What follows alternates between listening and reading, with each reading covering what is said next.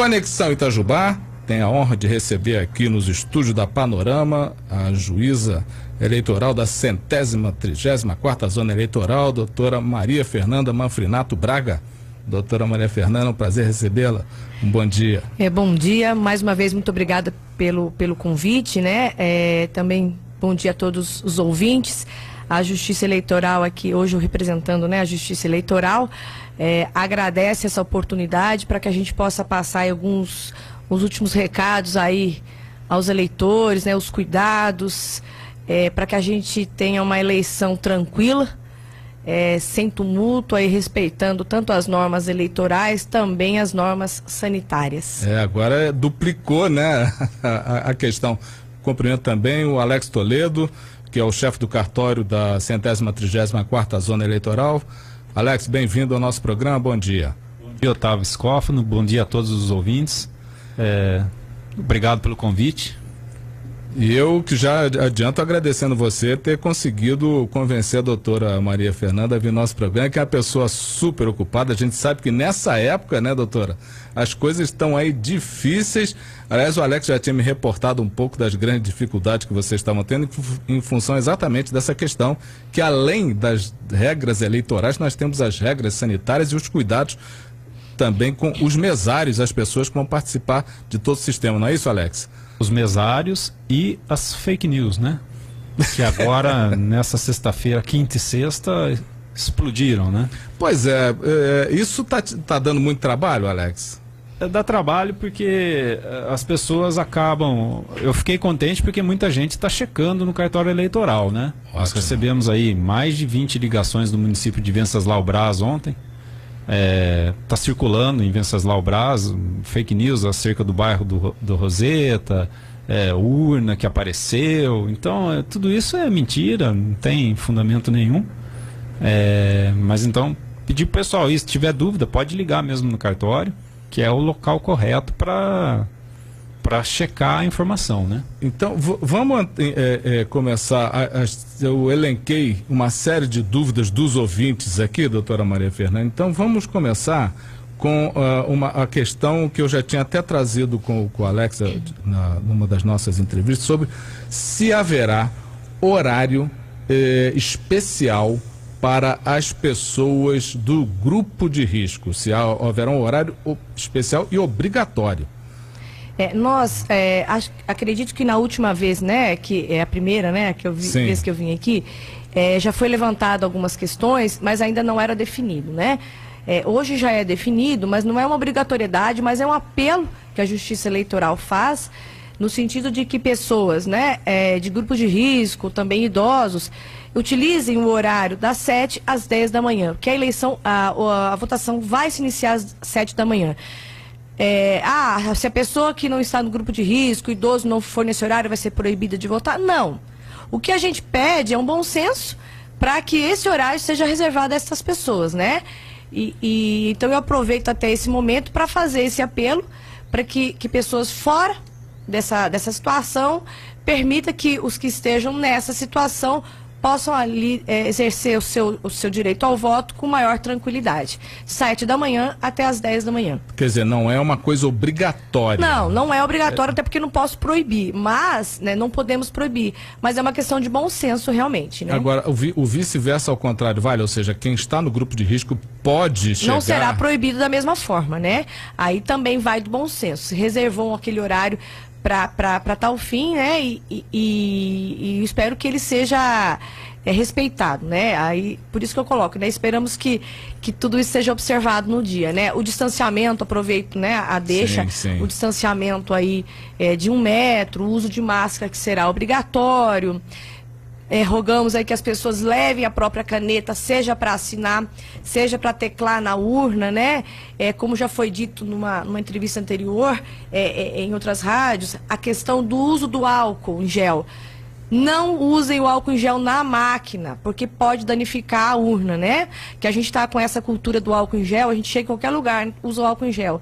Não espirrem álcool em gel nas urnas, que isso pode danificá-la.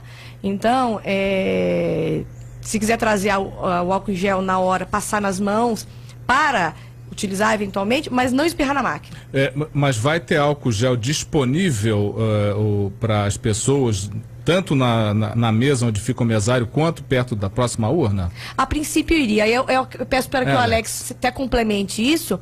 Para os mesários, sim, é, não, não vai ter essa dúvida, não. Agora, do lado da urna, eu acredito que também vai ser colocado. É isso, Alex? É, na verdade, cada mesário vai receber um kit, álcool, né? um kit né, com álcool gel individual. E na mesa é, vai ter aquele álcool gel para uso do eleitor. Do eleitor. Isso. Quer dizer, o álcool gel do eleitor está na, junto dentro, à urna. Dentro da sessão, na mesa do presidente. Ah, no mesa. Na, é, é. Ju, agora, junto à urna, não. Junto à urna, não, porque o procedimento, o fluxo de votação é o seguinte: o, o eleitor vai entrar na sessão, vai se identificar, né, mostrar o documento, o mesário vai conferir, ele vai é, assinar o caderno, por isso que a gente pede para levar a própria caneta ele vai assinar o caderno com a sua própria caneta. Se não levar, tem caneta lá, não tem problema Sim. nenhum. Ele vai assinar. Então, assinou o caderno, passa o álcool gel na mão, o álcool vai estar ali ao lado do caderno de votação, ele vai até a urna. Então, ele está com a mão higienizada. Ele vai votar, ou com a caneta, ou com, com a própria mão. Ele retorna, pega o comprovante se quiser, o comprovante de votação ele pega se quiser, passa o álcool gel na mão mais uma vez e se retira da sessão. Então, não tem problema de contaminação, né? Por isso que não é necessário e nem é permitido passar álcool na urna, né? Vai querer é, sanitizar a urna lá na hora, né? A urna não é para não é, não é para passar álcool na urna, né? Como a doutora ressaltou.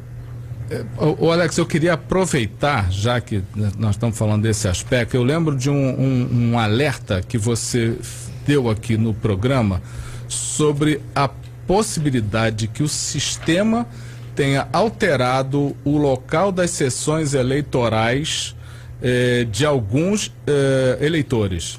Isso. Todos aqueles eleitores que compareceram à revisão biométrica obrigatória, antes de comparecer ao local de votação, devem consultar, eh, se atentar para na qual sessão eles estão alistados, né? em, qual, em qual sessão eles vão votar. Porque o sistema é, a pessoa escolheu o mesmo local de votação, mas o sistema jogou na sessão com menor número de eleitores. Então, pode ser que a pessoa não se atente a isso e fique na fila da sessão anterior, sendo que o sistema jogou no mesmo local de votação, mas jogou para uma sessão que tinha menos eleitores no dia. Então é importante. Como é que eu consulto isso? A pior opção é ligar no cartório, porque a gente está com muita ligação vai e, e aí é, só vai dar ocupado. É, o mais simples, pelo e-título. Sim. Né? Isso é um, eu sugiro que todo mundo baixe o e-título, porque ele tem bastante funcionar, várias funcionalidades. Né? Uma delas é a consulta do local de votação, inclusive para familiares. Né? O sujeito tem 16 anos, já é eleitor. Ele pode consultar o do pai, da mãe, do vizinho, tudo ah, no aparelho okay, dele. Ok. Ou no site do TSE. Beleza. Agora, é, já aproveitando que você falou no e-título, a documentação. O e-título vai poder ser uh, utilizado como documento para votação? Porque, por exemplo, aliás, queria até antes disso fazer um parênteses, doutor, agradecer você, Alex, graças a sua dica da, sobre a sessão, eu fui ver que a minha tinha mudado. Ou seja, eu já estou poupado de ficar lá, sei lá, meia hora, 20 minutos na fila esperando e chegar na frente lá da, da, da sessão da secretária me informar, não é aqui, vai para o lado, lá você entra em outra fila, né?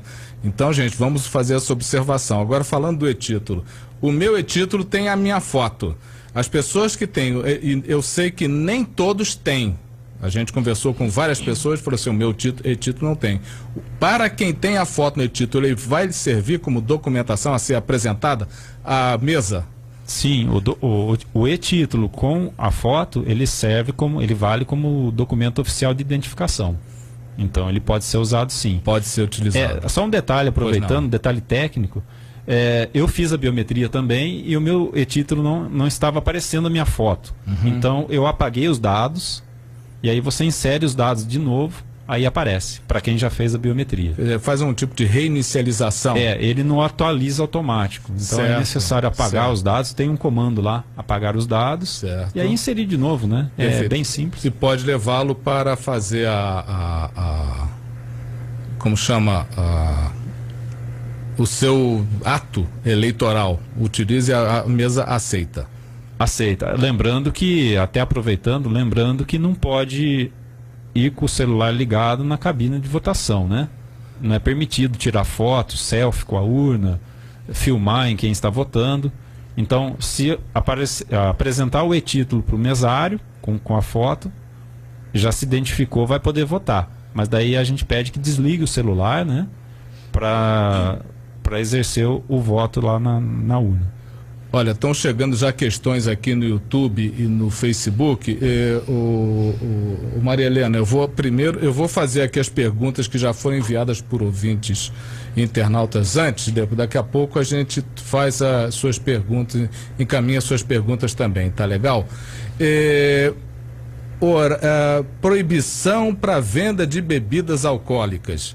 Vai haver?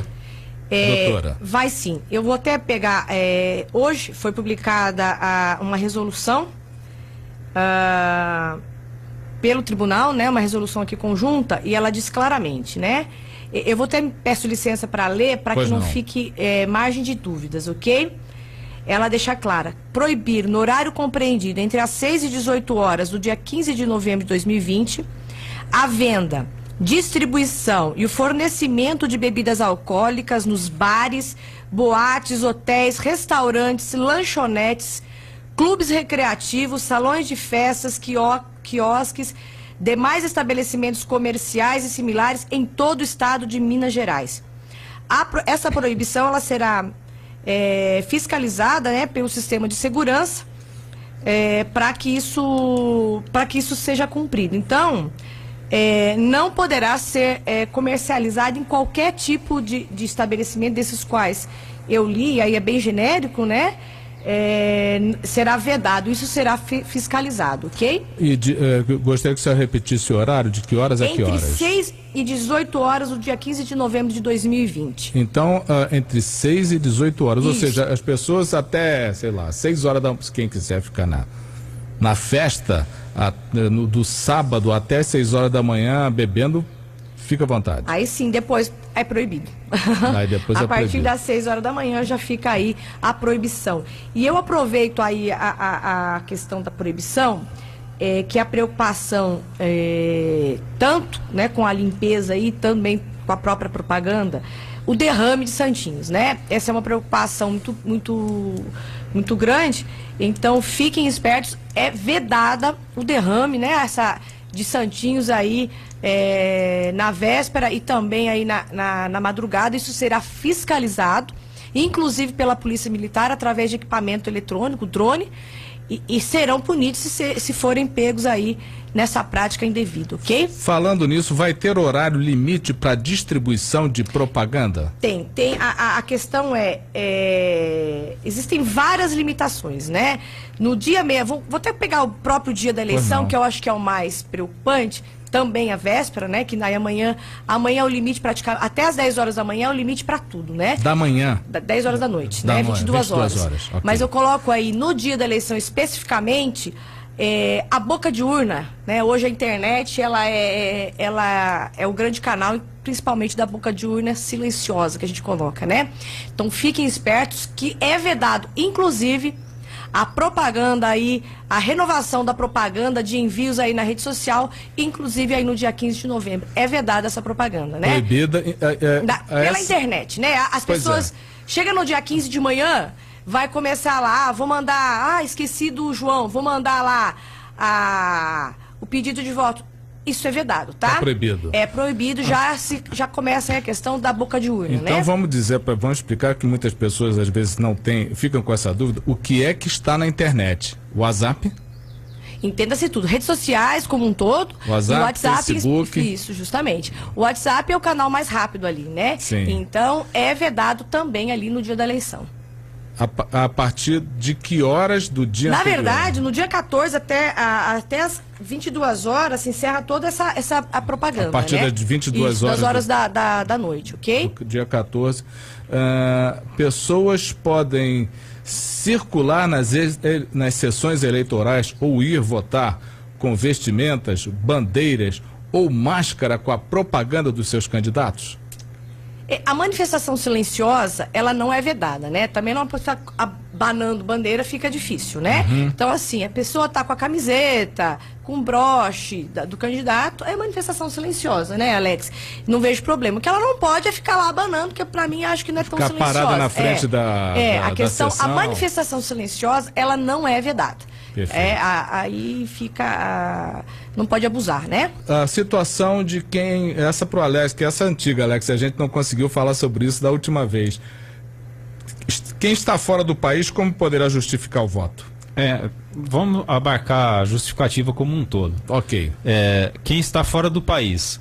No site do TSE tem, tem um, um link específico que se chama Justifica. É um, é um um software, né? A pessoa vai entrar lá, vai pedir alguns dados, ele tem 60, 60 dias para justificar, né?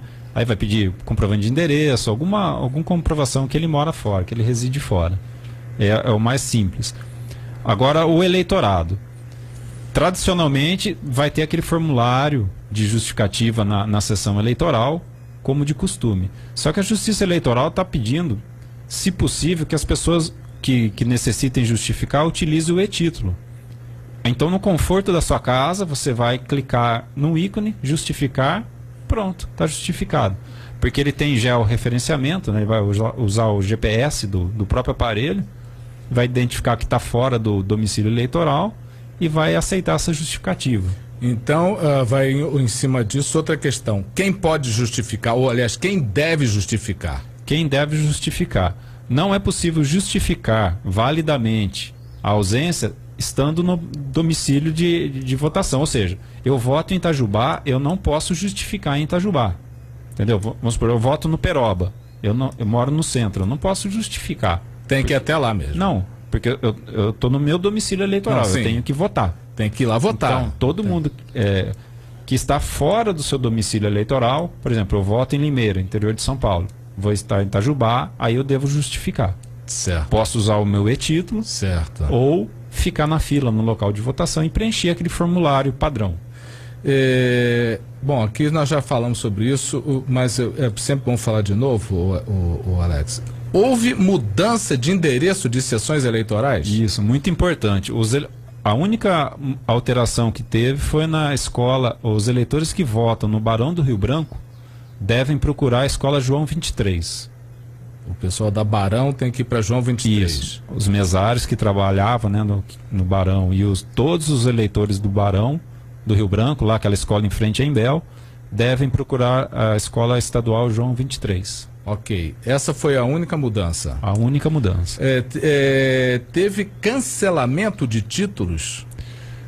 Sim. É, os eleitores de Venceslau Brás, né, que a biometria terminou, se não me falha a memória, em outubro, é, esses tiveram o título cancelado. Os eleitores que não compareceram, né, que claro. estavam obrigados e não compareceram. Sim. Já os eleitores de Delfim Moreira e Itajubá não tiveram o título cancelado. Essa é uma dúvida Sim. corrente. Então não tiveram o título cancelado e poderão votar normalmente. É, e, e, voltou aquela questão, doutora, sobre é, quem não fez o cadastramento biométrico, em cima disso que o Alex está falando, vai poder votar? Porque na época tinha aquele negócio, lembra, Alex? Quando, quem não fizer o cadastramento biométrico não vai votar. Tivemos a pandemia. Quem Nas questões dos locais que eram obrigatórios, que não foram feitos, não tem como votar, né? Porque daí deixou de cumprir. Aí não tem como como fazer a votação mesmo, né, Alex? Não, então. Ah, é, é só para esclarecer, porque é, isso já se encerrou. Porque Itajubá ainda já foi tudo, né? Não, assim, os únicos. O dia a dia não... é dele lá, então eu vou é. deixar ele para responder aqui. É, é, é, os únicos não, que não vão poder votar são, é, são os eleitores de Venceslau Brás.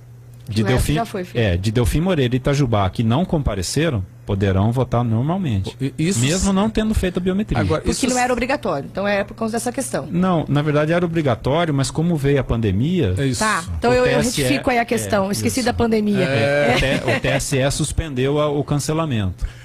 Então, por hora, não será cancelado, né? Ok. Mas ainda estão passíveis de cancelamento futuro. Para a próxima eleição, né? É, encerrando a pandemia. Encerrando a pandemia. É isso aí. É, a outra questão, Alex, é... eu pergunto à doutora, qual a diferença entre voto branco e voto nulo? Pois é, a questão do voto branco, em branco, você vai branco. ter a opção ali, né? Hum. O problema do voto nulo é você fazer uma confusão na urna, né? Para você tentar anular o seu voto ali, né? Mas o que eu peço, que ninguém utilize de nenhuma desses, desses subterfúgios, né? O voto é uma coisa que foi conquistado, né? Ao longo aí da história, da evolução dos direitos, em especial o voto da mulher, né? É, antigamente, muito se brigava, se discutia para buscar e conseguir esse direito, né? E hoje que esse direito é ali dado, né? E hoje tem que ser obrigatório, é, chega a ser até um paradoxo. Antes não era a pessoa não tinha o direito e queria, né? Hoje a pessoa tem que ser obrigada para exercer. Então, é, que não se utilize desse subterfúgio, né? O voto em branco você pode fazer o voto em branco normalmente.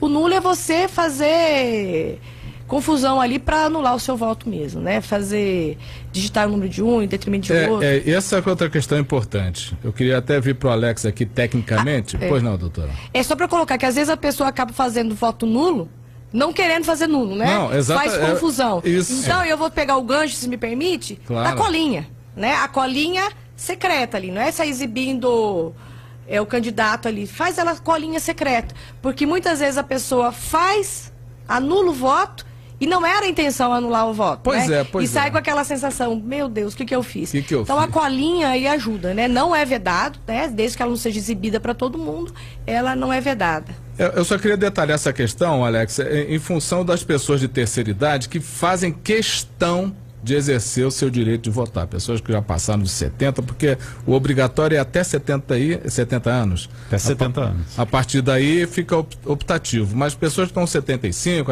às vezes com 80 anos, querem exercer o seu direito. E mão de pessoa de terceira idade, eu falo isso porque eu estou na terceira idade, às vezes dá uma, né? dá uma escapada. Errou como vai fazer a, a, Como é que ele muda a numeração? Ou então digitou errado quando ele viu ali, falei, epa, não é esse cara. Como é que ele acerta isso? É, sem anular o voto. Excelente pergunta. As pessoas é costumam é, criticar a urna, tem toda essa propaganda negativa, mas cá entre nós, eu não posso falar nome. Nós chamamos na última eleição alguns presidentes de partidos porque nós tivemos 22 boletins de ocorrência que não aparecia fulano, não aparecia ciclano. E uh, teve presidente de partido que, que achava que a urna fosse touchscreen. Foi teclar na, foi apertou a tela da urna. Então, uh, assim, muita calma, é tem que teclar nos botões. A gente está acostumado com o celular, a, a urna não é touchscreen, a tela não é a tela só aparece não a é foto. Não é tela de celular. Não é tela de celular. Então vamos lá no botão. Tem que dizer o óbvio, é, sim, infelizmente sim, tem, sim, tem que dizer o óbvio. E aí, muita calma. Às vezes não é a terceira idade que erra, não. São, é a moçada. Porque você está tão acostumado a fazer coisa rápida, aí você já teclou ali, já deu confirma, acabou. Não acabou. tem jeito. Apertou. Dizer, isso te... não volta atrás. Não volta apertou, atrás. Confi... Apertou, confirma, é, já era. Então a gente orienta o seguinte: calma, já ficou meia hora na fila? Não tenha pressa. Olha para a urna. Tá lá com a colinha em papel, né? Do seu candidato. Vai votar no candidato X. Primeiro é vereador. Então são cinco dígitos. Se eu teclar o número do prefeito e der confirma, não adianta reclamar que não apareceu a foto do prefeito.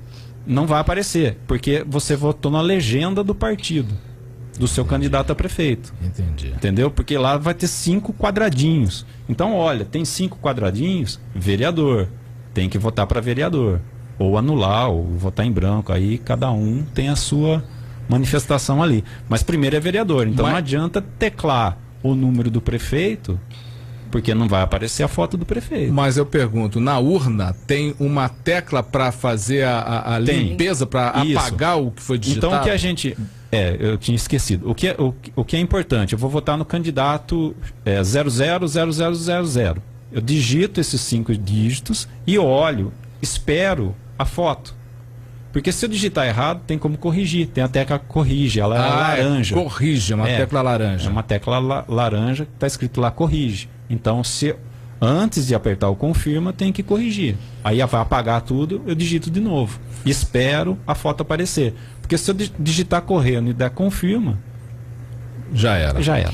Muita gente às vezes confirma antes de ver a foto. E aí dá aquela confusão, aí diz que não está aparecendo, porque muitas vezes sai, ah, essa urna tá, não está funcionando, não apareceu a foto. Não apareceu meu porque candidato. Porque às vezes não espera aparecer. Ou seja, né? pode ter uma demorazinha para aparecer a imagem do candidato. Isso, as urnas são, são 2010. O, nosso modelo é. de urna é 2010, então ela já está com 10 anos de uso. Sim. São aqueles computadores que a gente tinha Sei. lá é. atrás. Então, aham, aham. demora um pouquinho para carregar a foto. Não é muito demorado, mas tem que ter um só aguardar um pouquinho. O, o doutora, tem uma questão aqui que também nós levamos, que é uma dúvida. O uso de máscara é obrigatório, a senhora já colocou. A pessoa que estiver lá para aparecer para votar sem máscara, ela será proibida a entrada. Ela não pode não entrar. Não poderá votar. Não Isso poderá é muito votar. importante.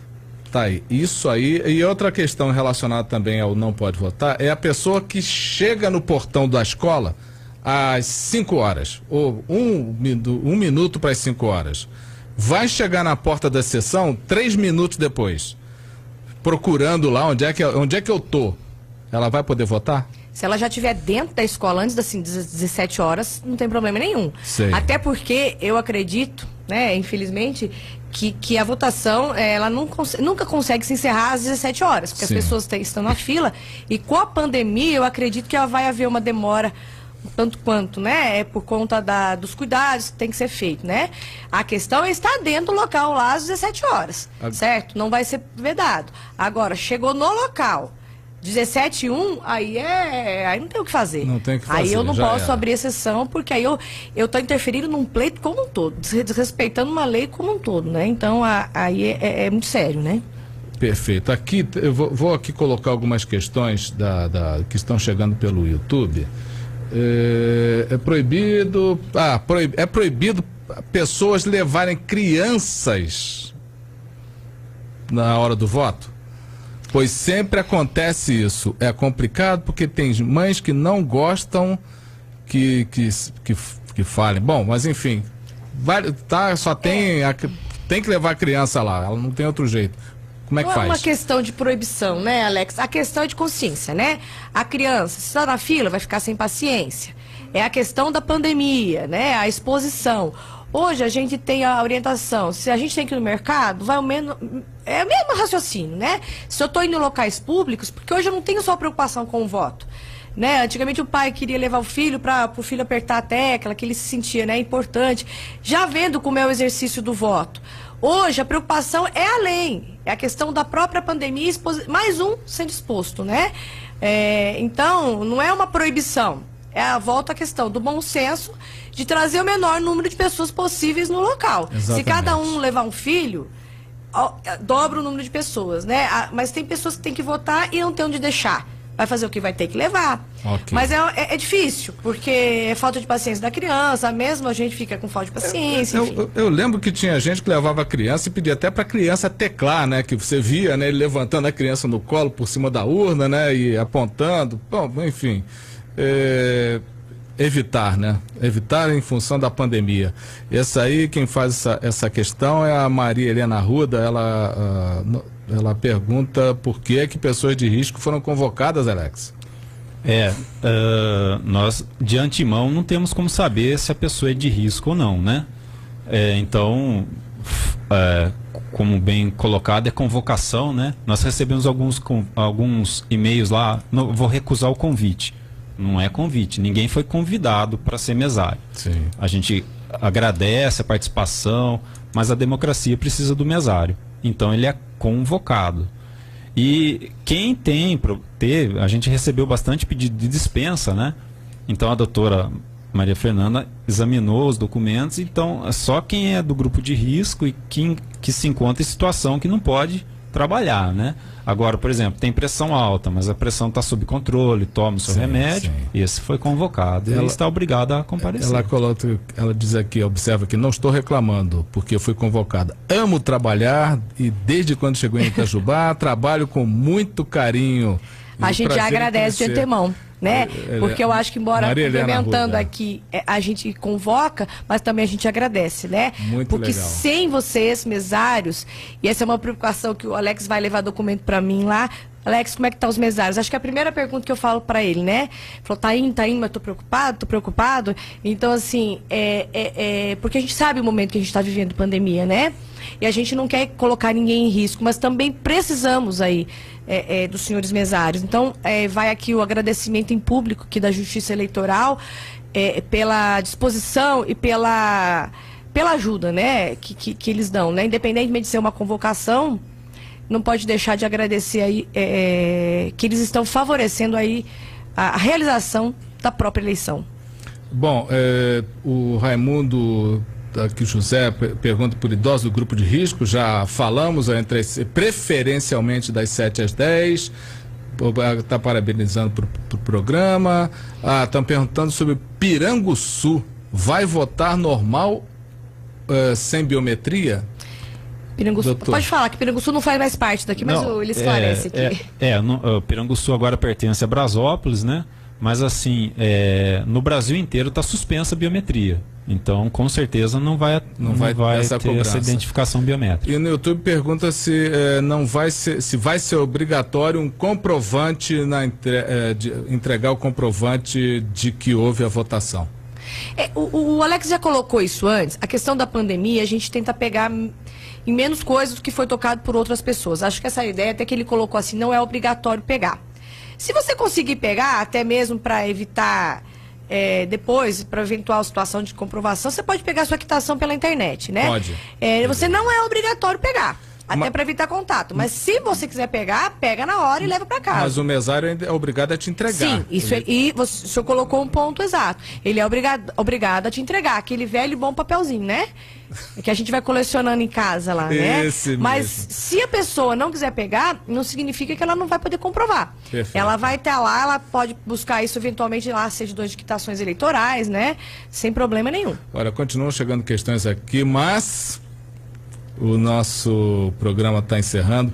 Eu gostaria de agradecer imensamente a sua vinda ao nosso programa, doutora. Porque Nós que agradecemos aí a disposição, foi, né, de eh, poder a Justiça Eleitoral mandar últimos recados, né? Sim, sim.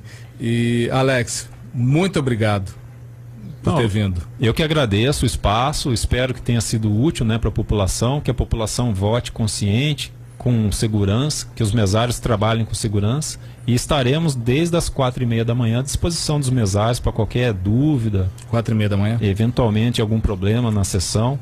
E conto com os mesários lá às 6 horas da manhã nos locais de votação. Beleza, doutora. Muito obrigado. Eu que agradeço, vez. eu que agradeço mais uma vez o convite. Espero que tenhamos uma eleição tranquila, senhores, que respeitem aí as normas eleitorais, nada de boca de urna, nada de boca de urna, inclusive pela internet, nada de derrame de santinho aí, nada de sair bebendo nesse horário e que tudo será tranquilo se isso for respeitado. É muito simples, né? É, é, que tudo dê certo para todos nós. Muito obrigada mais uma vez pela, pelo canal. Essa foi a juíza eleitoral da centésima trigésima quarta zona eleitoral aqui de Itajubá, a doutora Maria Fernanda Manfrinato Braga, e o chefe do cartório eleitoral, Alex Toledo, participando desse nosso programa especial Eleições Municipais 2020 no Conexão Itajubá, aqui nas ondas da Panorama.